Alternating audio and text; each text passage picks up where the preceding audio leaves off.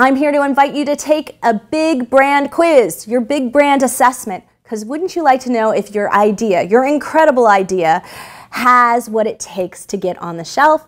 Wouldn't you like to know if your brand that's already selling, maybe on Amazon or on eBay or in any of those other e-commerce places, wouldn't you like to know if it's growing or if you're already at authority brand level?